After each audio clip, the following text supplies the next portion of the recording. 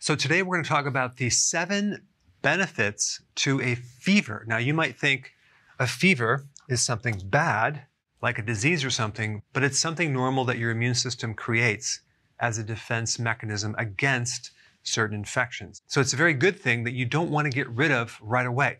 Let's first talk about the benefits of a fever. Number one, it restricts the production of pathogens like bacteria and the reproduction of viruses.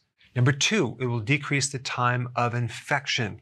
So if you're going to take something to shut down that fever right away, guess what?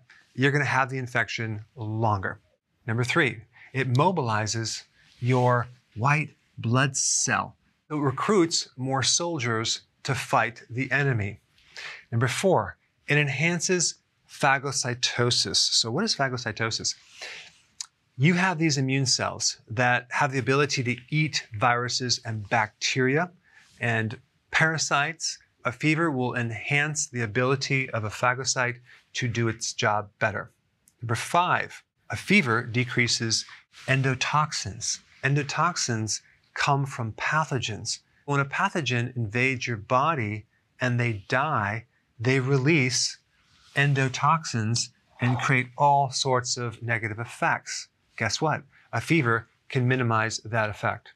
Number six, a fever will increase the growth of T cells. T cells stand for the thymus cell. There are several of them, and you have T cells that are killer T cells, which are comparable to your special forces.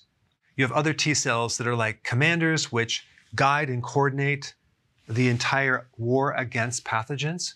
And then you have other T cells that regulate or moderate the amount of collateral damage. So they will kind of put the fire out, get rid of inflammation if it gets out of control. Well, fever will actually increase the growth of T cells. Number seven, a fever decreases the mortality rate. So let's say, for example, you're in an infection and you let the fever run its course versus taking something to turn off that fever. Guess what? There's some interesting studies that if you let the fever do its job, you will have a decrease in death rate. What you want to do sometimes is enhance the fever. Get into bed, put the covers on, and sweat it out. Take a hot bath. All of that really will help in stimulating some of these immune reactions.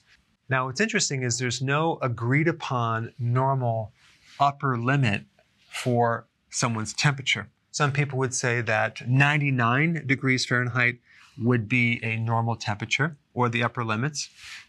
Or some others would say it's 100.9 degrees Fahrenheit as the upper limit of normal temperature. That would be 37.2 degrees Celsius to 38.3 degrees Celsius. The other question is what temperature should you let your body go to?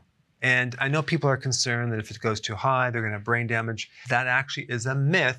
You would have to really let your body get above 108 degrees to create uh, brain damage and for a long period of time. And that could occur if you actually had a fever and you were in a very hot place. But typically, if you let the temperature um, rise between 100 and 104 degrees Fahrenheit, or 37.8 degrees to 40 Celsius. Just realize it's a beneficial thing.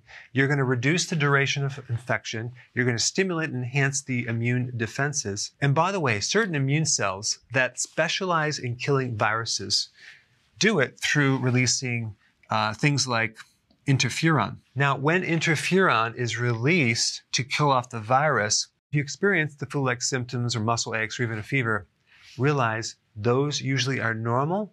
Let your body go through its process and don't try to get rid of the symptoms right off the bat because you could weaken your immune system in its fighting capacity. Now, if you haven't seen my video on how to boost the immune system, I put it up right here. Check it out.